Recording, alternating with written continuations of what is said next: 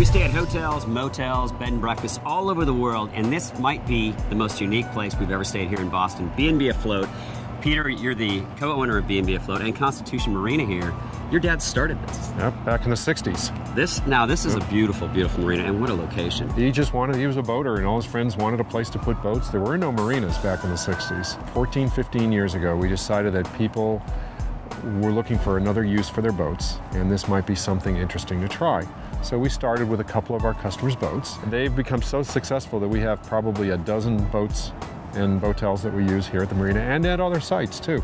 So describe the lady in the coach for our viewers because it's uh, we love this place. It's got a nice big sitting room. Yep, she's a nice um, motor yacht that's uh, used privately owned and used and kept up for bread and breakfast. And with all the amenities too, though, you've got uh, a shower, kitchen, and, yep. showers. The bedrooms are yep. big. The beds are huge. Yep. It's like living in a floating hotel. You really don't feel like you're on a yacht. No. And then our guys are checking into another one tonight. What's different about that one? Rosinante is actually my partner's boat, and that's a 60-foot sailboat.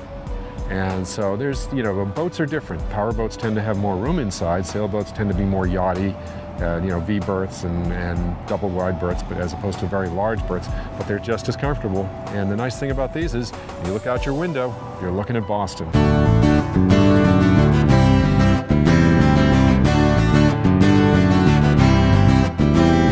D Dock is where our boat is on. D Dock is supposedly world famous, I'm told. Oh, D-Dock, yes. Why is D-Dock so famous? Oh, because of the people that uh, keep their boats on D-Dock and the people that live here. We have about 60 or 70 people that actually live at the marina year-round. What do you love most about Boston? And what's Boston's best-kept secret that maybe our viewers wouldn't know? Uh, it's just, it's a lot friendlier than people think. It's people, you can go up to anyone, ask them any question, and they'll stop and talk to you. Agree with that. Mm. We found that. Now, you do much more than just bed and breakfast mm-hmm. and manage the marina. You guys have charters, you do sunset right. cruises. Talk about that. Well, if uh, a bed and breakfast uh, customer would like to go out for three or four hours in the evening in a sailboat or a powerboat or virtually anything else that you want, we can arrange that. We took a water taxi in. Yeah. Courtesy of Bobby T. Bobby T has been our kind of Boston tour guide. He's a great guy to represent your business. Yeah, he is fabulous. We've had him for a number of years, and uh, we put a lock and key on him, so nobody's stealing him. I think that's a good call. Yeah.